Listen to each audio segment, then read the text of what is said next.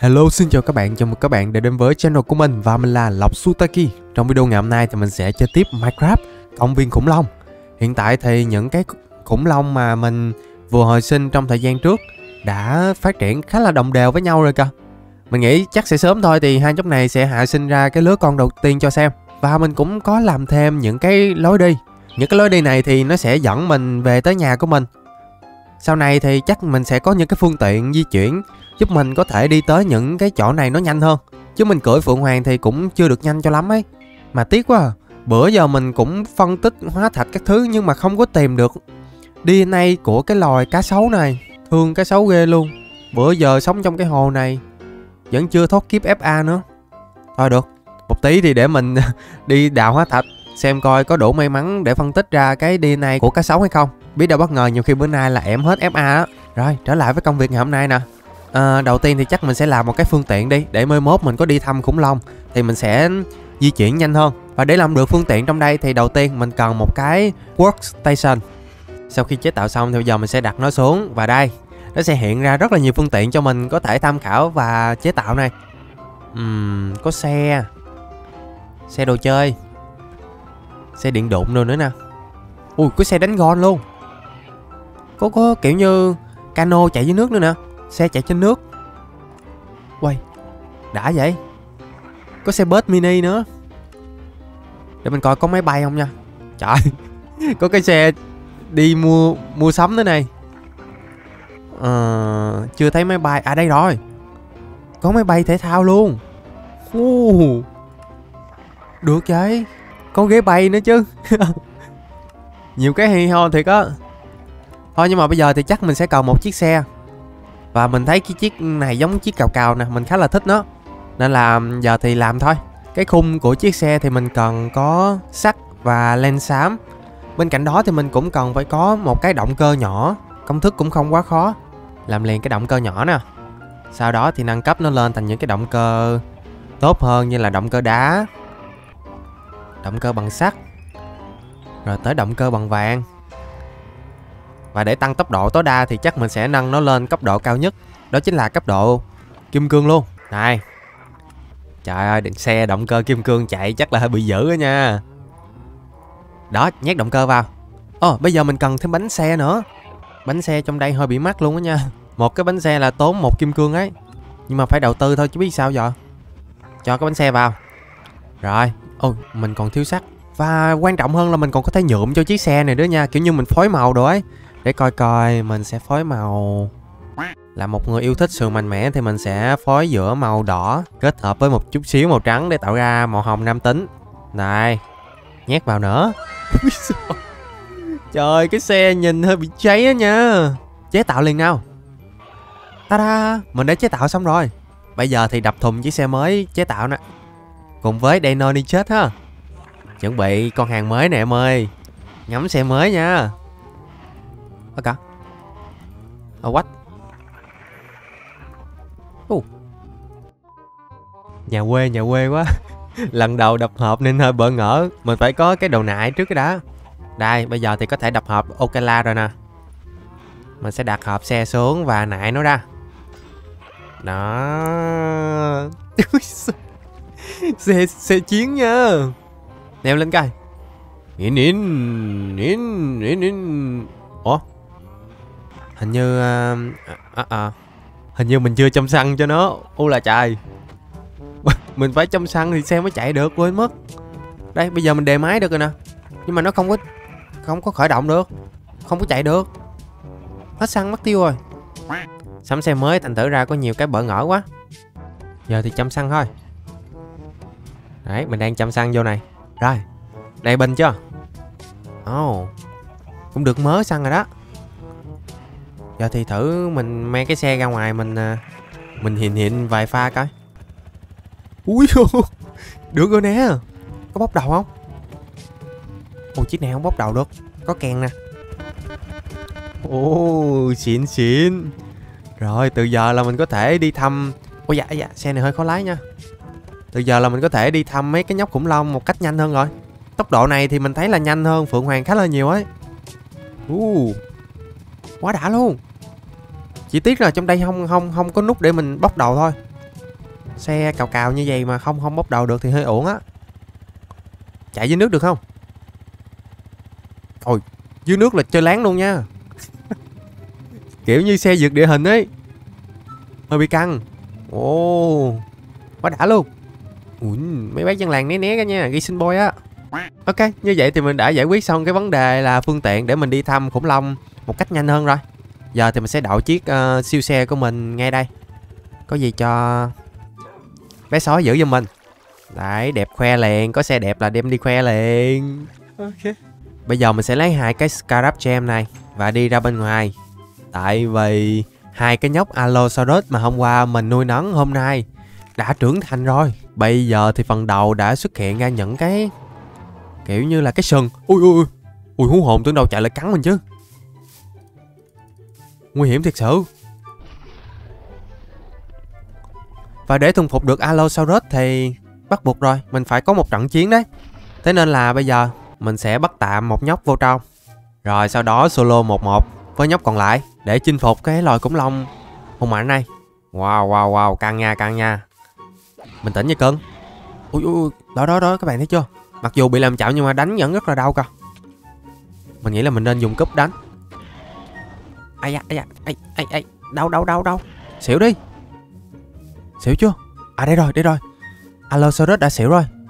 Đang thở hổn hển cơ u là trời.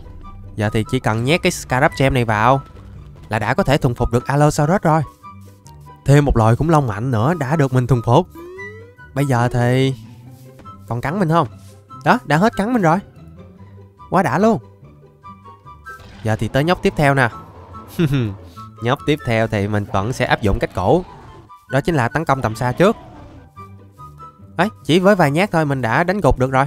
Và Ui, tỉnh vậy Ui, xỉu đi. Trời ơi, sao dễ tỉnh vậy? Rồi, ok. Giờ thì mới chính thức thuần phục được nè Thôi thôi, đừng có cắn nữa, đừng có cắn nữa. Ý ý ý. Allosaurus chạy nhanh quá. Cắn liên tục luôn. Ui da Kiểu như mới thuần phục xong á nên em còn hơi hoảng hay sao ấy. Nên cứ đánh mình miết ha. Bây giờ thì chắc hết rồi đó. Giờ chắc là bình tĩnh lại rồi. Đấy, Giờ đã hết cắn mình rồi nè. Và coi coi mình có thể cưỡi được Allosaurus hay không. Wow, Mình cưỡi được nhá. Và chạy rất là nhanh luôn. Wow. Mấy cái loài khủng khủng long mà kiểu chuyên đi săn á, Mình thấy loài nào chạy cũng nhanh hết cô này Ui, nhanh hơn chiếc mô tô. Màu hồng nam tính của mình mới chế tạo nữa. Wow. Cái này là kiểu như mô tô chạy bằng cơm nha. Mô tô Allosaurus chạy bằng cơm. Ai đâu, bằng bằng bằng thịt bò chứ. Thôi được, bữa nay nhân dịp. Mình có thêm hai nhóc khủng long mới về đội. Thế nên là một tí nữa chắc mình sẽ dẫn hai nhóc này Đi trả cái mối thù hôm qua với cái con Kiến sư tử. Nó dám cắn mình hai hit để cho mình đi đường hàng không về nhà mình vẫn còn nhớ cái mối thù đó. Bữa nay người tới số rồi. Kiến sư tử à Mà trước mắt để mình cất Allosaurus vô trước cái đã. Bây giờ thì chắc mình sẽ thực hiện cái lời hứa với cá sấu mới được. Đó chính là tìm bạn đời cho em. Bữa giờ thấy em một mình cũng tội.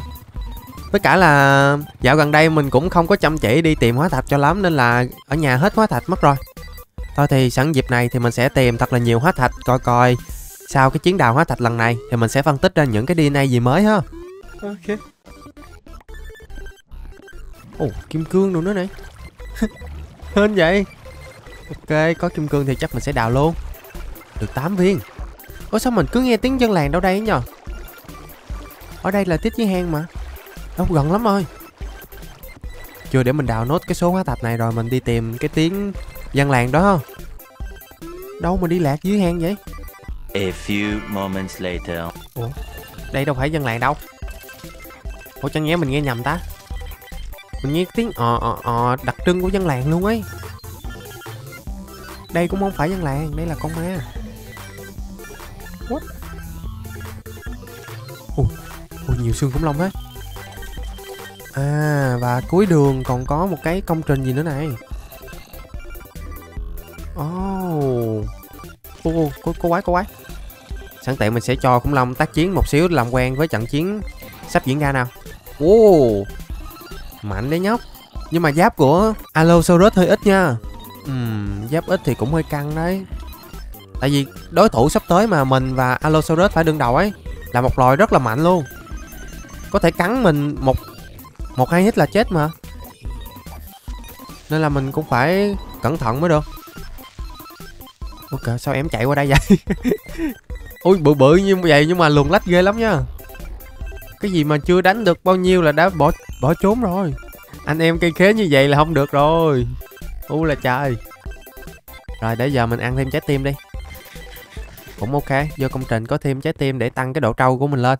Trở về sau cái chuyến đi đào hóa thạch này Thì mình sẽ vào nhà Để mình phân tích mấy cái mẫu hóa thạch thô này mới được. Lần này thì có khá là nhiều luôn Tại vì mình chủ yếu tập trung lấy cái bio fossil mà. Nên là hy vọng là nó sẽ phân tích ra cho mình thật là nhiều những cái DNA mới. Ồ mới vô là thấy hai cái bột xương rồi đó nha. Hơi xô ấy nha. À quên mất Bữa giờ mình thì mấy cái Mấy cái uh, mầm cây hóa thạch của mình đâu rồi ta? Ở đây đây đây đây đây. Cũng được mớ. 16 rồi. 21 31 luôn. 42 Hết số này thì À được có 42 thôi. Ok. Và để xem với 42 cái plant fossil Thì mình sẽ có được bao nhiêu cái mầm cây mới đây. Mình thì đang cần những cái cây bự bự ấy, Chứ không phải là những cái cây cỏ cỏ bé bé ở phía dưới đâu. Tính ra tỷ lệ ra những cái mầm cây mới cũng hơi hơi thấp ấy. Ừ mình thấy vậy đây rồi. Ý, cuối cùng thì cũng ra một cái cây mới. Cái cây này có tên là Sigillaria. Wow. Mình sẽ ươm mầm nó liền mới được. Xong rồi mình trồng thử luôn. Ví dụ mà đẹp á thì mình sẽ trồng hàng loạt. Còn còn nhiều những cái hóa thạch của cây lắm. Đây nè, lại thêm một cái mầm cây mới. Cái cây này có tên là Condite Ừ Condite ok. Ồ, còn có chuồn chuồn nữa này Đi này có chuồn chuồn Ừ được luôn. Mình sẽ up luôn DNA có chuồn chuồn Ui nhưng mà tính ra nãy giờ mình phân tích cả đống mấy cái biofossil này nhưng mà không ra được cái DNA nào mới luôn nhờ. Căng rồi. Như vậy thì cái hành trình tìm bạn đời cho cá sấu của mình khá là gian nan đây.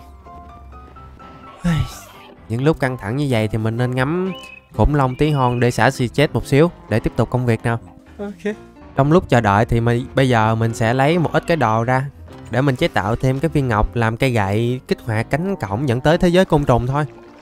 Lúc mà mình qua bển á mình cũng thấy nó cũng có một cái cái ổ cắm cây gậy ấy. Nó tự tựa cái này nè. Nhưng mà nó chưa kích hoạt nên là mình phải làm thêm một cái nữa để có gì mình còn đi về nó dễ dàng hơn. Rồi đợi cho nó ghép vào nào. Chuẩn bị. Tan tan xong rồi. Ủa cái gì nữa? Gì vừa xong là cái đụng gì nữa vậy? Ôi, đừng đừng đừng đừng. Ui, xin đây. Đừng mà. Nữa rồi nữa rồi. Cái tên cái tên zombie hư hỏng này. Không biết là trong cái cái lồng kính nuôi côn trùng của mình có chọc giận cái tên đó gì không? Mà bữa giờ hắn tới đây hắn đập phá cái chuồng của tụi nhỏ hai lần rồi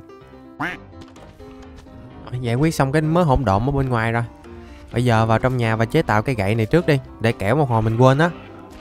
Rồi xuống ở dưới cái phòng này, Để mình coi coi mấy cái mầm cây mình ươm tới đâu rồi. Đây, Cái cây Sigi Ủa, cây này sao quen vậy? Ô, cây này nhìn quen lắm. Ủa, hình như cái cây này mình có rồi. Cây này thì chưa nè. Đâu, để mình ra mình ướm lên cái coi. Ui, chính xác rồi, Nó là cái cây trong cái cái chỗ lúc trước mình trồng này. Là nó chứ gì nữa. Cái cây mà cái gốc chà bá lửa ấy. Rồi vậy là bữa nay có đúng một cái mầm cây mới à? Và để mình sẽ trồng thử ngay khu vực này coi. Mầm cây mới này sẽ mọc ra cái cây như thế nào? Uh, cái gỗ này đẹp vậy? Wow! Đúng đẹp luôn. Cái dáng cây thì nó hơi cao một xíu nha chắc đó là đặc trưng của những cây thời tiền sử ấy mà phải công nhận là cái cái gỗ này đẹp Để mình lấy cây rìu ra Mình chặt nó Coi kìa nó rơi ra cái đống mầm luôn Sắp tới mình sẽ trồng thật là nhiều cây này rồi có gì mình sẽ tận dụng nó vào việc làm nơi ở các thứ nè, trang trí cũng hay đó. Mình thấy nó khá là đẹp luôn. Trồng lại cây mới. Rồi như vậy thì mình lại có thêm một cái mầm cây để cho vào cái bộ sưu tập cây thời tiền sử của mình rồi. Sau một đêm thì cái số hóa thạch mới này nó phân tích gần như là không ra loài mới luôn. Ây da. Ờ bị trùng hết rồi. Rồi luôn, như vậy thì những cái loài cuối cùng có vẻ mình sẽ rất là khó để tìm được cái DNA đây. Mặc dù khó là vậy, thế nhưng mà mình sẽ không bỏ cuộc đâu. Mình sẽ cố gắng kiểu như là tìm những cái DNA đó trong thời gian sớm nhất thôi. Ok. Bữa giờ chẳng qua là mình quên mang theo hàng nóng thôi. Bữa nay mình đã nhớ rồi, cái con kiến sư tử xác định với mình. Thế nhưng mà để chắc cú hơn thì chắc mình sẽ coi coi cường hóa hoặc là làm một cái set giáp mới mới được. Để cho mình có full dòng bảo vệ thì may ra mình chiến đấu nó mới tốt được. Nhất là cái nón nè. Hiện tại cái nón của mình thì nó chưa có dòng bảo vệ nên là mình sẽ thử làm một cái nón mới, rồi cường hóa lên. Nó cho mình cái bảo vệ 4 nha. Quá là tốt. Lượm lên. Rồi bây giờ thì bộ giáp của mình gần như là có full bảo vệ rồi đó. Tăng thêm độ tự tin khi chiến đấu rồi. Bây giờ thì không chần chờ gì nữa. Dắt Allosaurus qua bên thế giới côn trộn và trả thù thôi nào. Let's go. Đấy, và đây là lý do mà mình chế tạo cái cây gậy nè. Mình kích hoạt cánh cổng lại cái đã. Rồi, an tâm hơn rồi. Giờ thì trở lại cái chỗ cũ coi coi. Ừ, nếu mình nhớ không lầm là mình cần phải đi về hướng bên này nè. Đi thôi cũng Long, qua đó và cùng anh trả thù nè. Con đó nó láo lắm, bữa nay anh sẽ cho cưng gặm cái đùi của nó. Ôi, cẩn thận, cẩn thận, cẩn thận. Khúc này nhung nham nhiều á. Mình phải cho khủng long nhảy qua mới được, không thôi là chúng nhung nham là có thịt Allosaurus nướng luôn ấy Rồi ok tới nơi rồi Mình có đồ gì dùng được không ta Có thuốc men gì uống vô được không Không có Ok Không sao Cần gì thuốc men? Mình và khủng long là đủ bem cái con Con này rồi. Vô. Bắt đầu trận chiến nào khủng long? Anh sẽ đề bá trước. Tấn công nó. Gì đây? Đang đánh nhau mà đẻ nữa. Đánh thẳng ơi khủng long. À, Mình sẽ đánh vô đầu. Và khủng long có nhiệm vụ là cắn từ mông của cái con kiến sư tử đây à bữa nay nó tuột sao rồi? Gần làm được của em. Cố lên một xíu nữa. Cạp nó để, để mình dứt điểm. Ui ui có chân có chân nó phát nổ gì đó. Vô vô em vô em. Ui. Chết chưa? À chết rồi chết rồi. Ui mày thế. Mình nghi là nó phát nổ mà nhưng mà hơn là nó không có phát nổ gì hết. Và con boss này á nó cho mình một cái viên pha lê linh hồn. Cái viên pha lê này thì sẽ giúp mình chế tạo được một cái gãy. Ôi. Tốt vậy ta. bỏ tối liền và nó còn cho mình một cái trứng kiến sư tử nữa nè. Sẽ lấy về. Trời đất ơi, hồi nãy mình không tin được luôn á. Không biết các bạn có thấy kịp không? Hai mình vừa thả hai nhóc đó ra thì kiểu như đẻ liền. Ồ, Mắng đẻ thiệt sự. Đang chiến đấu mà cũng đẻ cho được nữa. Không tin được luôn. Rồi cho ăn cho full máu lên nè. Chiến đấu dữ quá, cũng mất máu quá trời luôn. Để mình lấy thức ăn ra cái đó rồi, ăn đi, cho đầy máu lại. Sau khi đánh bại kiến sư tử thì bây giờ Mình sẽ cưỡi khủng long và đi tiếp thôi. Mình tin chắc là cái vùng này kiểu gì cũng sẽ còn những cái loài ghê rợn khác cho xem. Ngoài kiến sư tử ra ấy, Nè nè nè nè, Chẳng hạn như là rết. Chưa gì là mình đã gặp mấy con rết rồi, Yêu. Ghê quá hả Cắn nó em bữa nay cho, Mình cho khủng long ăn rết. Đúng rồi. Rết thì nó sẽ cho mình cái đồ gì đây? À. Con rết này mình có thể farm nó và chế tạo được cả giáp cơ. Ở, ở đây mình thấy nó có cái quặng gì nè? Chưa. Để mình kiểm tra thử giống thạch anh lắm. Ồ oh, nó là thạch anh đấy. Ra là vậy. Đây là sắt. Thì ra ở bên đây nó vẫn có những cái quặng bên thế giới thường của mình. Rồi mình đã tới một cái chỗ khác rồi nè. Nó có những cái cây sim gai. Mày được đó nha. Để mình đi tìm hiểu thử coi. Ồ, ở đây thì nó có mấy cái con bọ. Nó còn có cây tre khổng lồ nữa này. Đúng kiểu thời tiền sử luôn á. Cây gì cây nấy, kiểu vừa to mà vừa dài nữa. Ok, lượm về luôn. Có trồng xuống được không vậy? Ui, không trồng xuống được à? À được được nha. Mình còn gặp bò kẹp nữa kìa. Wow. Nguyên một đàn bò kẹp luôn. Bò kẹp nha lại đây bước vô đây. Bước vô đây. Bém nó khủng long đúng rồi. Xử nó. Con này nữa nè. Mình chỉ đóng băng rồi cho khủng long quay lại kết liễu nó. Tại vì mấy con này có độc á. Không biết độc nó như thế nào thôi. Lơ ngớ nó, nó chích một phát cái là mình nha sùi bọt mép là xong luôn á. Và trước mặt mình đang có cái cây gì cả, lạ vậy? Hử? ở đây còn có kim cương nữa. Ôi ôi này thì có mấy con ong này. Ấy da. Đây có ui mình và khủng long bị ong úp sọt. Nguy hiểm thiệt chứ. Ê, đây là con dơi à. What the heck, con dơi gì mà bự vậy?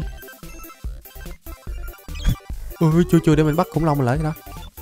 Trời ơi, con dơi này nó bự Chắc gấp 5 lần con dơi bình thường á. Ghê quá. Ở đây nó còn có cái cây gì đã lạ lắm nè. Ở trên nó có một cái nhị hoa và phát sáng luôn. Cái này giống như cây hoa thời tiền sử vậy á. Hạt giống. Ờ, à, nó là cây hoa bảy màu à. Ok, mình sẽ lấy cái hạt giống của nó về. Hay phết, trồng xuống là nó phát sáng luôn. Đẹp á, cây này đẹp, mang về trang trí là hết sảy. Nhưng mà bây giờ để mình đào kim cương cái đã. Kim cương free, kim cương free. Ui, như mình tới cái vùng của dơi hay sao á? Mình đi tới luôn toàn gặp dơi không mà, ghê quá. Ê, nó hút máu mình. Nó bầu vô hút máu mình. À. Nguy hiểm thật. Ui, đi ngang cái lãnh địa dơi à. Vào khúc này thì khó mà cưỡi khủng long đi được rồi Chắc phải nhờ tới sự giúp đỡ của Phượng Hoàng thôi. Nó toàn là mấy cái khói bùn. Nó làm mình di chuyển rất là chậm luôn. Còn kiểu như nó bị lúng lúng xuống ấy. Rồi, giờ tới lúc để Phượng Hoàng ra trận rồi. Wow. Không chỉ ở trên cạn đâu mà ở dưới nước nó còn có mấy cái con gì nữa kìa Nhìn nguy hiểm thật sự ấy. Mình không biết nó có cắn mình không nữa nhưng mà thôi. Tốt nhất là mình không nên kiểu như bay thấp quá đâu. Kẻo nó nhảy lên nó nó táp mình. Với cả phượng hoàng là toan luôn ấy. Bay riết riết ra khỏi cái lãnh địa dơi này cái đã. Nguy hiểm quá. Đây là cái gì đây? Hình như là cái spawner thì phải. Ui, nó là spawner của con ấy con chuồn chuồn khổng lồ. Oh my god. Nó gấp mình đi luôn à ê, ê cẩn thận cẩn thận ui. Con chuồn chuồn đột biến hay sao á? Mình sẽ bắn nó? Ui, xuống dưới thì gặp con dơi. Oh no no no. À. Cung cung cung, mình cần cái cung. Rồi, nó gấp mình lên nữa rồi. Con chuồn chuồn gì mà mạnh dữ vậy? Này thì chuồn chuồn nè. Mình bắn nó rớt này liền. Ghê thật. Này thì chuồn chuồn mình bắn hạ nó rồi wow, cánh của con chuồn chuồn này có làm được cái gì không? Làm được một cái cánh lượn và chế tạo được một cái áo giáp bay luôn. What? Nani? Mình còn có thể làm giáp bay được cơ à. wow. Nghe có vẻ hấp dẫn đấy. Vậy thì chắc mình sẽ ghé qua đây để mình pha một ít cái cánh chuồn chuồn thôi. Mặc dù là nó hơi nguy hiểm đấy, nhưng mà về sau chắc sẽ giúp ích được cho mình. Đây rồi đủ số lượng rồi. Không quan tâm nó nữa. Đi thôi đi thôi. Tránh xa khu vực này càng xa càng tốt. Quay đây là một giống nhện khác hay sao nè? Wow wow.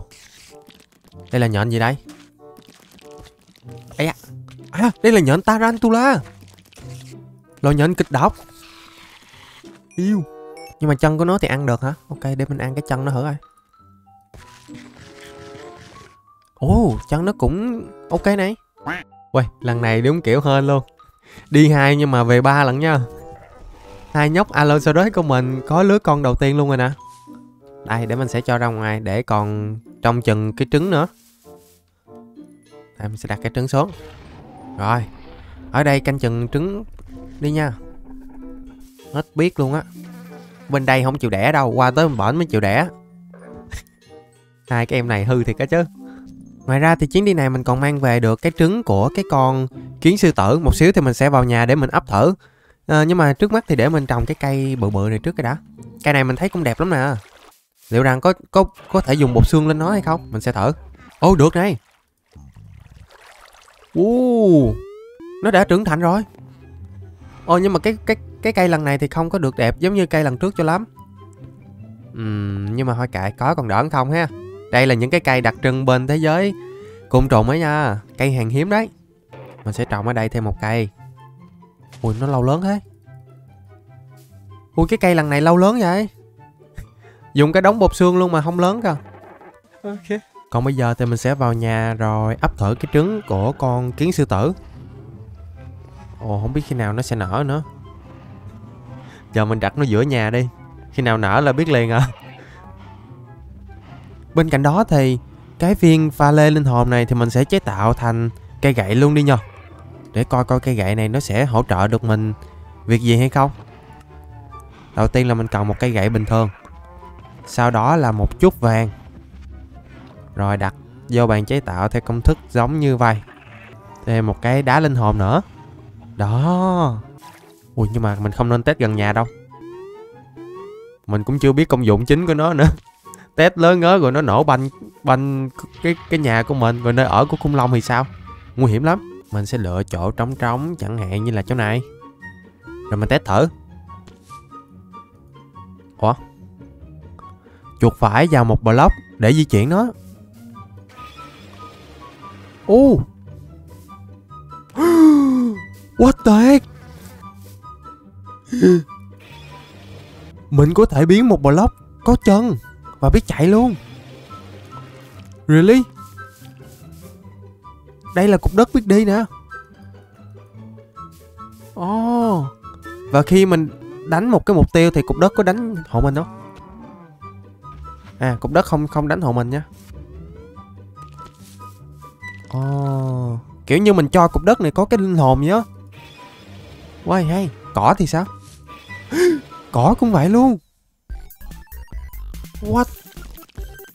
Wow, cái năng lực này ghê thiệt. Mình biến những thứ vô tri thành những thứ có linh hồn. Cái hoa. À cái hoa thì không được. Rồi còn cái gì mình test được không?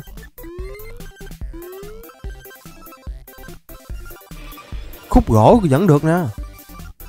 Nói chung là tất cả các block đều áp dụng được hay sao ấy à, à mà thôi không được không được cái này cái xe của mình no no no no cái xe của mình là để mình hiện hiện mà mà cái xe mình lâu lâu nó bị chết máy sao á? Phải phải ẩm lên rồi dục xuống thì nó mới đề máy lên được. Bây giờ mình sẽ về nhà để mình test lên khối kim cương coi. Tại vì mình muốn thử coi coi khối kim cương khi mà di chuyển thì sẽ như thế nào. Ui, thôi thôi thôi thôi thôi thôi. Tưởng test vô cái trứng. Cái trứng chưa nở nữa. Trời đất ơi. Nguy hiểm thiệt á chứ. Rồi. Ồ khối kim cương biết chạy nè. Đã vậy ta. Có kim cương rồi, giờ thì có thêm sắt đi. Rồi tới vàng. Cũng như là ngọc lục bảo luôn. Đấy, cái phòng thí nghiệm của mình bây giờ nó có vẻ đông vui hơn rồi đó. Lúc trước chỉ có bò thôi, sau đó thì có thêm khủng long. Ê ê, bò ăn khủng long của tôi hay gì vậy? Khủng long tôi ở đâu rồi bò? À đây đây đây đây, khủng long đây, khủng long đây. Mém nữa là mình mình xử bò rồi đó. Ủa, mà sao khủng long bỏ ăn vậy? Quay khủng long tuyệt thực kìa. What the heck? Hình như khủng long không thích nơi ở này rồi. Ui mà, Để mình dời cái cái máy cho ăn lên trên coi coi khủng long có biết đường mà ăn hay không. Mình để dưới có vẻ khủng long không biết đường mà ăn ấy. Rồi cái máy Ủa không biết cái cái cái máy này có làm được không ta? À mấy cái máy phân tích của mình thì không có biến cho nó biết di chuyển được. Ồ ra là vậy. Cái trống á Cái trống một chân ra được không? Ui. Ồ, cái trống dẫn một một chân ra được. Hay phết. Như vậy thì trong ngày hôm nay thì mình đã chính thức trả được cái mối thù từ cái con kiến sư tử. Ngoài ra thì mình còn mang được cái trứng của nó về nhà ở trong tương lai, nhiều khi là mình lại sở hữu một cái pet kiến sư tử dẫn đi khám phá rồi hỗ trợ mình trong việc chiến đấu thì cũng ok nha. Bên cạnh đó thì mình cũng chế tạo được một cây gậy. Từ cái viên pha lê mà con boss rơi ra và công dụng của nó thì biến cho tất cả mọi cái khối vô tri á đều có linh hồn và chạy được nha. Khá là ảo diệu luôn. Và cũng như là hôm nay, mình cũng có màn test sức mạnh của Allosaurus và mình nhận định em cũng là một loài khủng long rất là hùng mạnh đó nha. Rồi, và cảm ơn các bạn đã xem hết video này của mình. Hẹn gặp lại các bạn vào những ngày kế tiếp trong khai hành trình chinh phục toàn bộ các loài khủng long nha. Còn bây giờ thì xin chào và hẹn gặp lại. Bye bye.